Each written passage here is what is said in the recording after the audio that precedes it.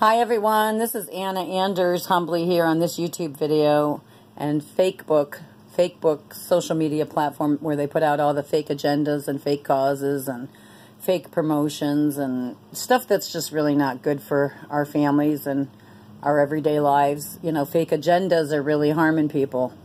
Uh, our humanity has been misled and misfed and 2020 proved that all the way. So here we are. Today is, uh, like I said, March 29th, Monday, 2021. And I'm sitting here at home um, and I want to share some 411 with you.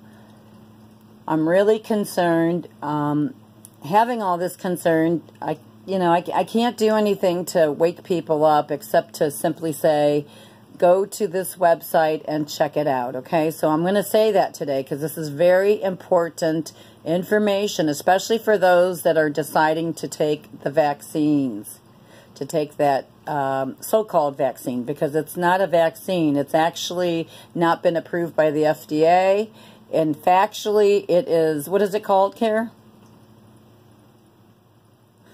Okay.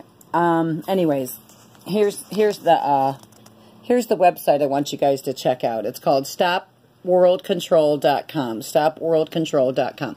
Check out that website. Um, this is basically a. I don't have the word. God help me. You know what?